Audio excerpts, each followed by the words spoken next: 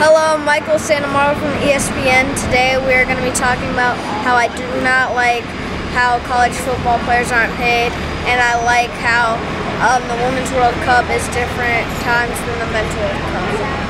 Find out why I'm next time on ESPN.